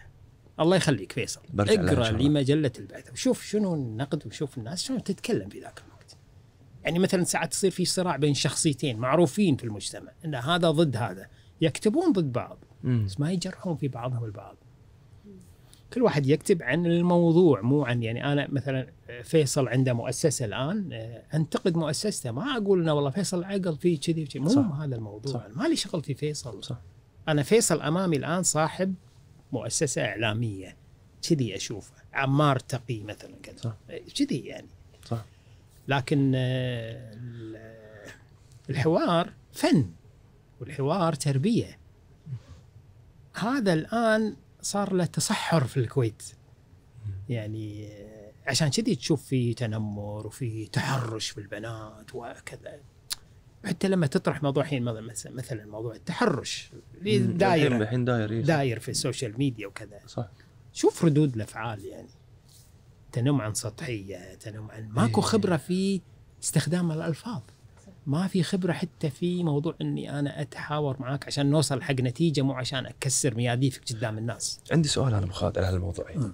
أول لما يجي واحد يكتب في ص- صحيفة ولا مجلة ولا يطلع على التلفزيون نعم يكون متدرب ومؤهل لأن في مؤسسات معينة تفلتر صحيح. الناس صحيح اليوم أي واحد كل واحد عنده مؤسسة إعلامية صغيرة بتليفونه صحيح. تويتر إنستغرام هذا. فاصلا إن أنت تكون مؤهل أمر بسيط بس تحتاج تشتري تليفون وسم كارد يعني ما تحتاج ان انت. تتعب وتبرز طبعاً. نفسك وتفهم وتتفكر وتنتقد نفسك وتراجع أفكارك يعني أنا أحس هذا جزء بعد يعني حتى كأول كان يعني لأن كانت القنوات أقل أنا مو قاعد أقول خلينا نسكر كل شيء نعم بس أنا أقول إن أقصد انه جزء من المعالجة إن إحنا نعرف شنو المشكلة يعني صراحة. أنا أشوف المشكلة انه أي واحد اليوم عنده تليفون يقدر يقدر يكتب أي- وكلهم من فيك اكونتس يعني أنا صح، قاعد أقول. صح، ما حد يكتب باسمه صح، صح، اللي يكتب صح. باسمه أنا قاعد ألاحظ انه تكون ألفاظه شوي موزونة أها، أها. وكلامه موزون. أكثر لكن ال fake ات طبعا طبعا تقول كلام يجرح لأن مو. أنا يعني صح. حقنا إحنا الحمد لله الأمورنا طيبة بس الضيوف صح صح صح يعني صح، ما يصير صح، عيب يعني صح. هذا اللي نقول يعني في صح يعني فهمت قصدي؟ صح فهمت عليك شوف آه أنا لي وجهة نظر في هذا الموضوع يعني أنا أقول في أشياء قاعدة تصير في عالمنا اليوم ما نقدر نتحكم فيها ما مستسلم أنت صح مثل ال social media ما تقدر يعني. صح. واحد يحط لك صورة على قولتك فيك وقاعد يتكلم مثل ما يبي ويتحمل إنه يدش سجن ساعات أو يدفع غرامة وكذا بس صح. يقعد يلشط فيصل ليل نهار صح شنو أسوي أنا هني؟ هل إني أروح أقول ما نبي تويتر ونشيله؟ ولا أفكر بطرق أخرى؟ أنا مع دائما التفكير في طرق بديلة لمعالجة مم. أسوأ ما في الإنسان. مثال هذا اللي إحنا قاعد نتكلم عنه الحين اللي هو التجريح والتنمر وكذا. لازم انت تخلق ادوات شو الحياة مستمرة يعني صح. الحياة تتطلب منك التجديد وانك انت تعالج امراضك اللي تطلع مع الوقت في امراض جديدة تطلع مع الوقت صح. امراض نفسية واجتماعية وسلوكية وغيرها صح. لازم يكون لك انت مقابل امامها امم فهذا الموضوع اللي قاعد يصير اللي مو عاجبنا اليوم في ال social media وكذا مم. ممكن أنا أعالجه بإني أراجع منظومتي القانونية بحيث إني أخليها متوائمة مع ما يستجد في ال social media اليوم. اولا أنا هم أقوي الثقافة ال... إي هذا واحد. إي okay. هذا هذا واحد. okay okay. الشيء الثاني خل المدرسة مكان لبناء قيم الحوار بين الطلبة. عجيب. هذا مهم جدا. يعني انه لازم تعلم الطفل لما يزعل مع رفيجه ولا يختلف مع رفيجه ما يسبه. أهم شيء لا تسبه. بس إنه قال إنه والله قال الشغلة الفلانية هذه لونها كذا يقول لك لا أنا ما أحب اللون هذا. مو أقول له ما أدري شنو كذا وكذا صح. ما نبي نقول كلام يعني. ما, صح. ما نبي نشتم بعضنا. فتنمية ال- ال- القيم الحوار مهمة جدا. هذه أنا قلت لك الآن إحنا نعاني من تصحر فيها. أنت عندك تغيرت عندنا القيم هم عندك مقال قبل الغزو وعقب الغزو منير عادل أوه. إيه قبل الغزو وعقب الغزو تغيرت الكويت ب... تغيرت كثير. اي يعني أنا أمي تقول لي هم قبل اطلع لما عرفت إني بقابلك وشنو الموضوع اللي راح نتكلم عنه قالت لي أول الكويت كانت غير. قلت لها شلون؟ قالت لي كانت ماك مو كذي مو نفس اليوم. صح. يعني صح. طريقتنا مع الناس غير. كأنها دولة ثانية صارت صحيح اليوم. صحيح صحيح. فأنا هالكلام بالنسبة لي كلام يعني okay ضيق الخلق لكن ما أحب أشوفه من هالناحية. أوكي بعرف okay شنو شلون okay شو اللي تغير؟ مم. يعني فهمت؟ ودي أعرف شنو تغير. بغض النظر شنو الحلول هذه قاعد نتكلم فيها ماكو مشكلة. بس أنا بعرف شنو اللي تغير؟ شلون كانت الكويت قبل الغزو عقب خاصة إن أنت حتى كتبت مقال عن هالموضوع. اي شوف آه مو مهم عندي راح أجاوبك أنا بس مو مهم عندي أبين لك الفرق بين قبل وبعد بس أنا اللي مهم عندي مم. آه بقوله اللي هو موضوع الغزو تحديدا okay قبل قبل الغزو كانت الأمور طبعا يعني مختلفة. ما بي خلينا من موضوع أفضل وسلبي. مم. مختلفة تماما عن ما نتج ما بعد ال- التحرير. تمام. يعني من ناحية سلوكية من ناحية اجتماعية من ناحية سياسية من ناحية اقتصادية. وايد أشياء اختلفت. يعني كان أول الأمور شوية طبعا آه، أفضل شوية. مم. يمكن تكون هذه كلمة الأفضل مو بجهود منا. يعني على المستوى الاقتصادي كان مثلا البترول أكثر سعره أفضل من الحين. بس مو إحنا اللي قاعد نتحكم سعر البترول. صح. لا لا أتكلم عن الجوانب الاجتماعية. آه، في أخذ وعطاء في الحوار ما في تنمر ما في okay. شتيمة ما في. الناس عايشة يعني حياة اجتماعية متعايشة. فطرية متعايشة يعني مم. مع بعضها. أنا أقول لك أنا فيصل في مراهقتي مم. كان معاي شباب عرفت بعدين لما كبرنا إنهم شيعة. عجيب. بس لما إحنا كنا مع بعض نلعب بالفريج. ما أدري هذا ما يعني هذا شنو. المهم رفيجي وأحبه. أنا أحب عادل وأحب حسين. عجيب. ربي العب معهم مقصي وكذا وكذا. ما يعني ما وعينا حق هذه الأمور. والحمد لله أنا يعني مو منجرف من ناحية هالاشياء تماما يعني. بس كنا نعرف يعني كان يطلع موضوع ترى في شيعة في سنة في متطر يا قصة هذه صارت هذه بعد الثورة الثورة الإيرانية. كذا فيعني جرت ويلات صراحة على المجتمع الخليجي كله يعني. الموضوع الأساسي في اللي فرق بين قبل وبعد الغزو أي. إن الكويتيين حكومة وشعبا مم. لليوم ما جاوبوا على أسئلة وايدة لأشياء صارت لهم من الغزو ولا عالجوها تركوها كذي شنو؟ وايد أشياء مثل يعني أنت الآن لما في دولة تجتاح دولة. مم. وخلص هذا الاجتياح مثل اللي صار في الكويت سبع شهور وطلعوا. طيب أنت شنو سويت الآن؟ هل أنت قست أثر هذا الغزو على مجتمعك من زوايا اجتماعية ونفسية وكذا؟ في دراساتك وكذي يعني طلعت.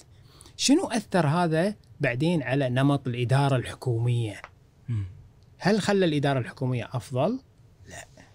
معناته أنت ما سويت شيء، ما حليت هوم ورك مالك اللي المفروض كل الناس كانت تطالبك 32 دولة جت تحررك عشان تصير أفضل.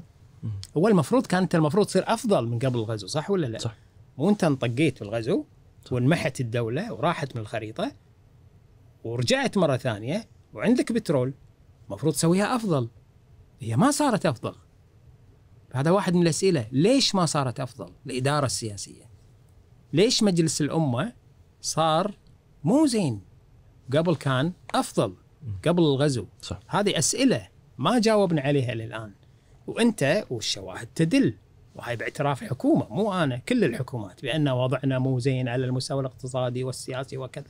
كله في الحدار. صح. وين الأسئلة الأساسية في هذه؟ التحرير شنو سويت أنت في موضوع ثروتك النفطية بعد التحرير؟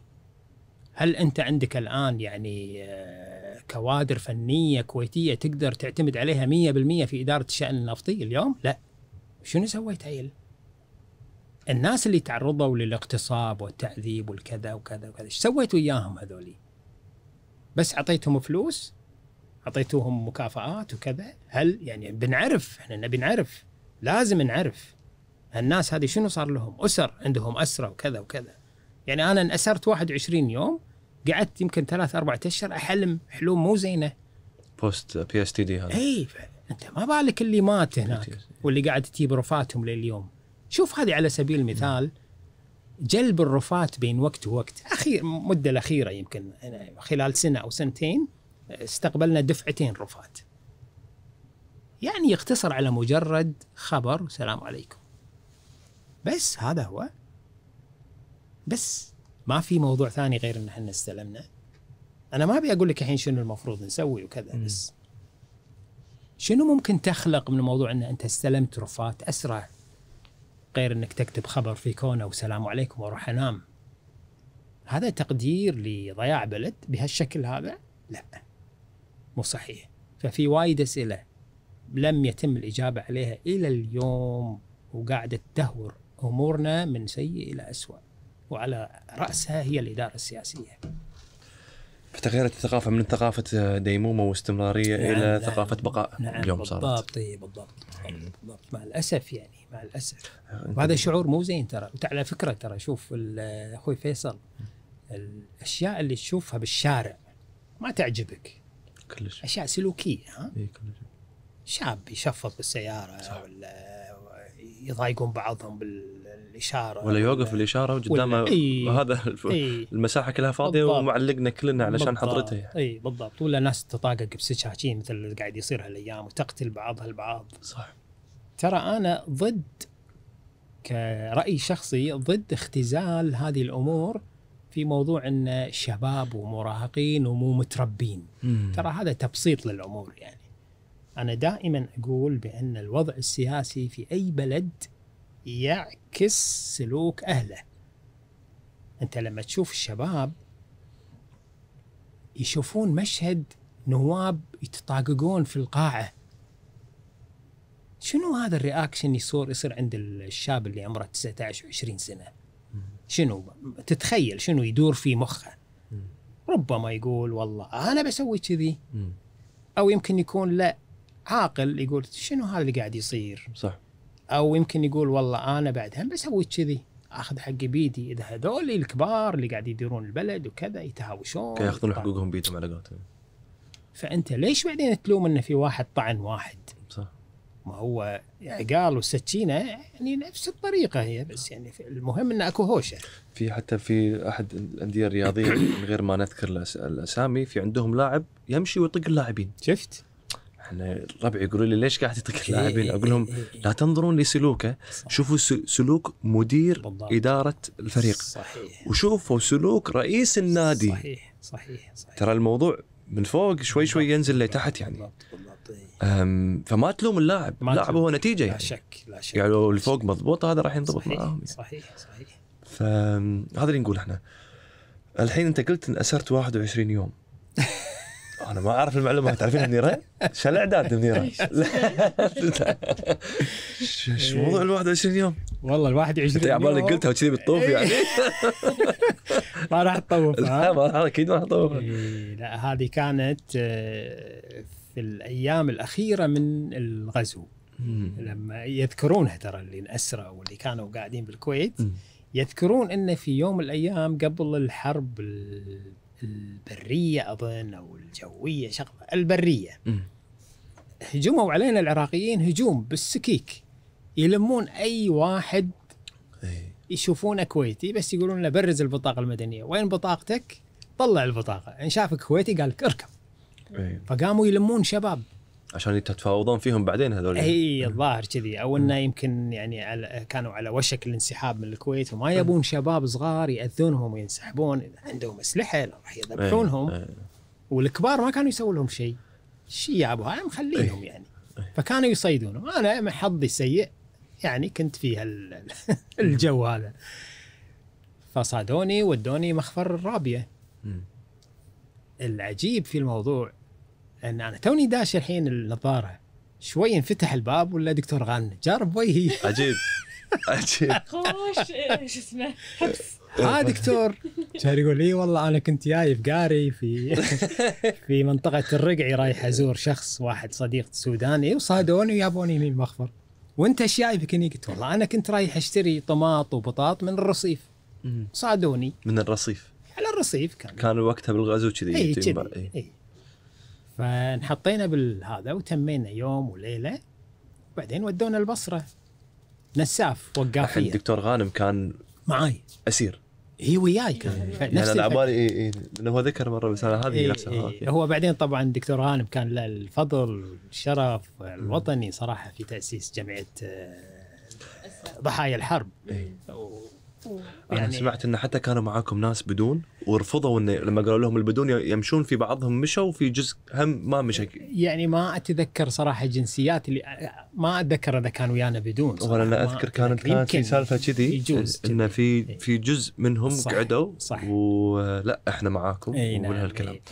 ف- مؤكد. أكيد أكيد في يعني ما تخلى يعني م. فبس ورحنا البصرة وقعدنا تقريبا هناك في السجن 21 يوم و25 يوم كذي. ماكو لا أكل ولا هذا. ماي يعني الماي كنا نشربه من الأرض. 21 يوم؟ إي نشربه من الأرض يعني. كان شتاء وقتها ففيه مثل خباري وكذا. فيطلعونا الفسحة هذه مالتهم عشان مم. بس نشم هواء يعني. فنشرب ماي ما في. أكل. أكل كانوا يبون لنا آه، خبز يابس معفن مال الجيش. يبونه بخياش ويقطونه فأنت تنقي منه شلون تفلق المحار كذي. اي اي فتنقي اللي مو خايسة وكذي وتاكل والخايس شو تسوون تخليه ما ياخذون عندهم يعني لا. ماكو لا تنظيف ولا ما شيء في- تاكله. وبعض الساعات والله نقشر العفن بأظافرنا كذي عشان ننظف السطح مالها وناكلها يعني. إي. اي كان وضع تعيس صراحة يعني. وأتذكر كان معنا أحمد باقر يعني الوزير والنائب. صح. إحنا لما يابونا بالنساسيف هناك في منطقة اسمها بصخير. اللي فيها السجن هذا عنابر آه اكتشفنا إن في وايد أوه هذا رفيجي وهذا رفيجي وهذا رفيجي كم واحد كنتوا؟ إحنا كنا 1200 واحد وشلون موزعين؟ موزعين على بركسات والبركسه كم واحد فيها تقريبا؟ البركس تقريبا في حوالي 150 نفر كذي. وش كبر البركس؟ البركس قول في يمكن 20 متر في ستة كذي. إي. إيه، كنا مخزن كذي يعني. إي. حتى شفنا على الطوفة ذكريات أسرى إيرانيين قبل أيام الحرب العراقية الإيرانية. إي. يعني وضع تعيس صراحة. مكان ما في- بعض؟ إي. ما- في نور ولا ما في لا نور؟ لا ماكو نور. 21 يوم داخل. إي داخل المكان. ما, تسوي ماكو ولا شيء ترفيه. شنو كنتوا تسوون؟ نسولف. نسولف. ما تدرون شو اللي بيصير؟ ما كان كانت تجيكم أخبار؟ لا هو كان أنت المفروض تروح تموت يعني تعدم. إي فأنتوا ها- ناطرين إي هاي ناطرين الإعدام خالصين إحنا يعني ما عندنا أي مشكلة في هذا. إلى درجة أخوي فيصل أقول لك إياها وأنا صادق يعني مم. إني تآلفت مع الموت في الأيام الأخيرة يعني. قاعد أقول إنه okay خلاص يعني بس okay. يعني راضي إني أنا رايح بموت وخلص. انتهى الموضوع. تقبلت ال... ولا كنت أفكر بأي شيء انقطع عني التفكير بأحوالي في الكويت مع أسرتي. تهيأت إني أنا دخلت مود الوفاة. انتهى الموضوع بالنسبة لي خلاص يعني. ما حدث في الأخير بأن البصرة لحسن حظنا قبل ما نطلع نروح بغداد لأن كل اللي يطلعون من البصرة ويروحون بغداد أعدموا خلاص. صاروا رفاة يعني. مم. اللي حصل إن البصره احتلت من قبل القوات الدولية. مم. فصار عليها مثل الطوق فصارت تحت إمرتهم. صح. فكل شيء فيها وقف صار تحت إدارتهم وإشرافهم. مم. هذا من حسن حظنا. فيانا الصليب الأحمر وطلعنا ودانا على الحدود الكويتية. بعدين تم استلامنا يعني بعد ال- الحين قبل قبل لا يطلعونكم. كانت كانت تجيكم أخبار من الحرس؟ انه ترى ولا شنو كنتوا تسوون؟ ما يعني- كنا يعني نسمع كنت ما كنا نسمع أي شيء داخل البركس ما في أي معلومات. اللهم إن صار الليل أي واحد طبعا عنده ولاعة يشرب سيجارة ولا كذا تي له زفة من الجنود لأن بمجرد إنك تولع ويطلع نور ممكن هذا يرصد من الطائرات فتقصف ال- يقصف السجن هذا. كان المفروض ما تسوي ولا شيء. طبعا في تصير هوشات بالليل لأن كنا ندوس على بعضنا البعض من الظلمة. فنص الليل تسمع صورة آي ويهي دست على ويهي دست على مش قصص. هذا كان اللي يصير بالليل يعني. لما يأتكم الحين آه، لما لما يأكم الصليب الأحمر آه، يحرركم ولا يستلمنا. أو يستلمكم أو هو يستلمكم؟ شلون عرفتوا أنتم أنتم فجأة دشوا عليكم الصليب لا، لا. الأحمر؟ وشلون؟ يعني أقصد انه لا هو أنا مثل ما قلت لك لما البصره احتلت خلاص طلعت بس أنتم ما بس ما عندكم خبر أنتم إيش قاعد يصير؟ ولا عندكم ما ندري لا لا. إي أنا ابي اقصد ان أنتم أنتم قاعدين الحين ابي بس أفهم الجو العام. إي. من اللي دش عليكم قال لكم ترى الأمور طيبة إن شاء الله؟ ال- ال- الجنود العراقيين اللي كانوا في البصرة قالوا خلاص ترى الحين بيون الصليب الأحمر. كذي ها؟ ويستلمكم ويو سيارات آه،. من الصليب وكذا. فهي ما كانت ان الصليب الاحمر يو بطلوا لا لا من غير ما تدرون فجأة كذي. لا لا خلاص هذا هذه كل- بس بالأفلام تصير. يعني مو مو مو هذا كله أنا بس أبي أفهم الجو لا. العام. فهم كانوا متعاونين معاكم. زين دروا إنه جايين ال- العراقيين دروا إنه يو الصليب الاحمر إنه بيون زين ليش ما تصرفوا ودوكم بغداد؟ لا خلاص أنا قلت لك ما قدروا يعني البصرة احتلت احتلت فما يقدر خلاص. شوارسكوف خلاص يحكم. أيوة. انتهى الموضوع. إيه. ما يقدرون يسوون ولا شيء. كل ما في البصرة في ذاك الوقت تحت إمرة الأمريكان. تمام. بما فيهم إحنا ال 1200 واحد. عجيب. فاخذوكم خذونا ودونا. بس قبل ما ياخذونا طبعا في شغلة بس بقول لك إياها على. موضوع ال- اللهفه على ملذات الحياة يعني. لما يا الصليب الأحمر كانوا جايبين وياهم سحاحير طماط. من المزارع الظاهر في البصرة وكذا. سحاحير إيش كبرها بلاستيك فتنقط من فوق والنساف طاخ. تحت فيها طماط. طماط في- شيء زين شيء مخمخ وكذي. فأنا أتذكر يعني لما كليت الطماطه بذاك الوقت كان شيء عظيم. كني ماكل الفونسو هذه المانجا. لأن أنت قاعد 21 يوم 22 يوم ما كليت شيء. فبعدين تعض شيء يطلع ماي. الله وناسه. إيش هالطماطه هذه. فهذه ما أنساه. هذه ما هذا المنظر ما أنساه يعني. وبعدين طبعا لما ردينا اضطرينا نمشي مشي شوية على ريولنا بعز البرد إي. في الصحراء الكويتية. فشفنا سيارة فيها سيارة عسكرية فيها جندية أمريكية. وقفت. كان تعطينا أكل مكيس مال الجنود. تشيس في صوص تشيس في بسكوت تشيس كذا كذا تشيس في صمونة. لا زلت أحتفظ فيهم إلى اليوم. عجيب. عجيب إيه موجودين عندي. صار لهم كم سنة الغزو الحين؟ فوق 40 سنة يمكن حوالي ثلاث- 30 سنة. ثلاث 30 مم. صار يعني آه، ذكريات موجودة يعني. خوش شيء. ما أدري عن هذه. أنا اي اي إي. تمام. بس خفف عني وايد يعني وجود دكتور غانم صدق؟ إي يعني أنت معاك بنفس ال... وعلى نفس البركس. نفس البركس، ها؟ يسولف لنا يعني حازيننا وكذي. يعني وناسة. اي خوش شيء هذا كورس واحد وهو. طبيعته يعني relax دكتور مو من النوع اللي يعني مو- ينفعل مو وكذا. متنشن يعني. فكان يعني تأثيره داخل السجن ممتاز على الجميع يعني وكان مرجعنا اي اي اي طبعا عاد هو كان يقوم بأعمال إنسانية حتى بالغزو كان إي يروح إي إي. ويزور إي إي. ويحاول صح فالغريب إنه اخذوه يعني خذوه لأنه كان هذا قرار قرار من القيادة العراقية إن أي كويتي الظاهر كان في شيء كذي يعني. ضمن السن من كذا إلى كذا يبوهم. حتى يمكن مثل ما قلت فيصل يفاوضون عليهم تالي. ممكن إيه. بس ما صار. الله سلمنا ترى. أنا مثل ما قلت لك ترى إحنا كان يفترض لسنا على وجه الأرض الآن. مم. يعني لله. 100% بس صار اللي صار. يعني صدفة كذي صارت وينا يعني؟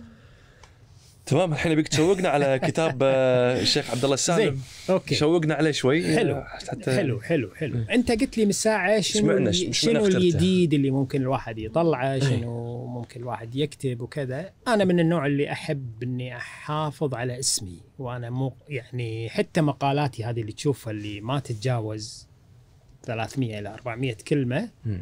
أدقق فيها وأشوفها وما أحب طبعا الأمور الشخصية أنا ما اذكر أسامي أشخاص ولا.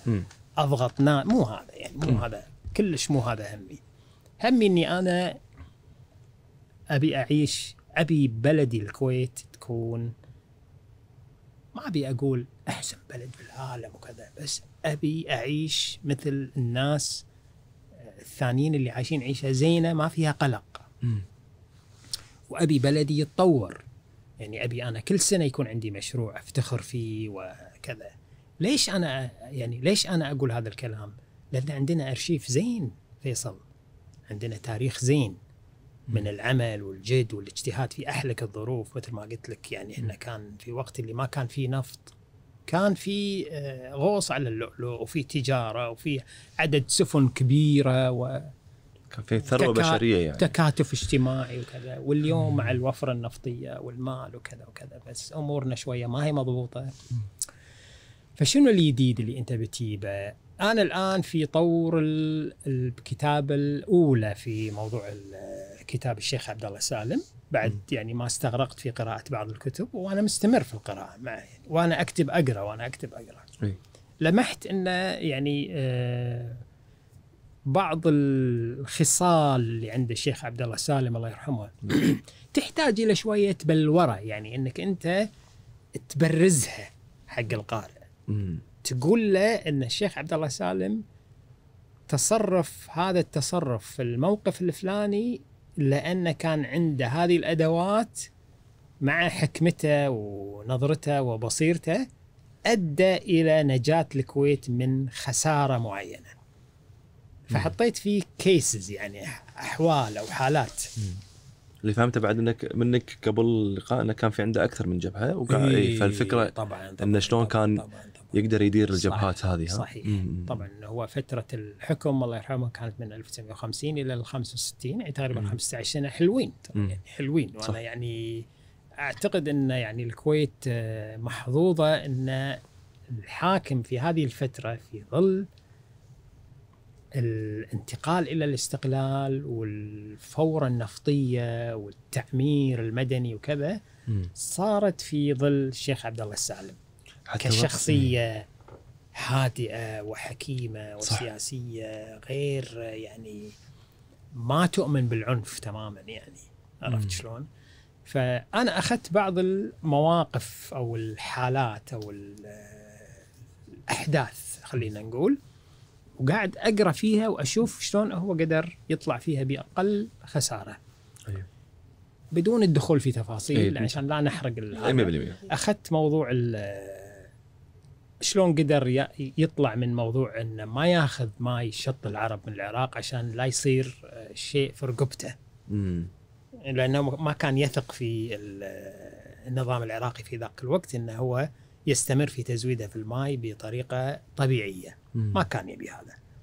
فسوى ما نبي تفاصيل. إيه. أنا ابي أبي. عقب ما تطلع الكتاب أبي نية مرة إيه، ثانية نتناقش فيه بالضبط. آه، شلون قدر ينجو من الاتحاد الهاشمي في الخمسينات؟ ممتاز. كان في اتحاد بين الأردن والعراق كانوا يبون الكويت تدخل عشان نصير إحنا البنك مال ما كنت الاتحاد. أدري أنا. رفض إنك تكون الكويت بنك لهذا. أدري كان كانوا بيسوون اتحاد بس ما كنت أدري إن هذا إيه. كان إيه. أسباب إيه. الرفض إيه. يعني عرفت شلون؟ في كثير من ال- المواقف فمتح... كان اي فالفكرة كلها إن المواقف وشلون تعامل مع المواقف طبعاً. حتى في شغلة ثانية إيه. آه، أبو خالد آه، سالفة انه شلون وقتها كان كان ولا كانوا الشيخ عبد آه، صباح الأحمد. آه، رحمة الله عليه والشيخ جابر الأحمد آه، رحمة الله عليه كانوا شباب وقتها أيوه وياه وشلون مكنهم وهم شباب إنه يأخذون. مناصب معينة صحيح. آه، حساسة حساسة نعم. ويديرونها صحيح أنا حسيت هذه من الأشياء اللي هم الناس ما تدري عنها ترى الناس ما تدري انه وقتها كان صباح كان كان شباب حريص و... كان حريص على التنشئة السياسية إي وللحين إحنا نستقطب من هالثمار اللي. اسس لنا إياها شيخ عبد الله السالم فهذه من الأشياء اللي أنا حيل انعجبت فيها طبعاً، انه يعني طبعاً. كان قاعد يأسس على جميع طبعاً، المراحل طبعاً. يعني حتى طبعا. من ضمن أيضا الخصال اللي عنده انه آه، مفاوض جيد وما يحب إنه يقطع إحبال. يعني ما يسكر عليك الباب. عجيب. إيه يعني إيه يعني أي مشكلة يستمر في التفاوض فيها لما تأخذ حاصلها ويطلع بنجاحات يعني. في وثائقي لما استقبل آه، الملك عبد العزيز. ملك الملك عبد العزيز بن سعود. ماني غلطان ملك عبد العزيز إيه، موجود على يوتيوب. راح أدز لك إياه. إن شاء الله. تشرف. موجود على اليوتيوب وطحت عليه يمكن شايفينه 5000 بس ما شاء شوية. الله. إيه، وأنا كنت قاعد أراقب سلوك إيه. الشيخ عبد الله السالم. صح. مثل ما قلت هادي. صحيح.